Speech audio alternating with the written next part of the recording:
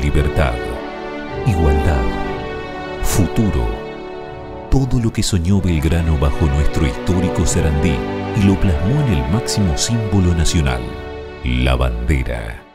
Este lugar es especial. Esta es la más misionera de las fechas nacionales.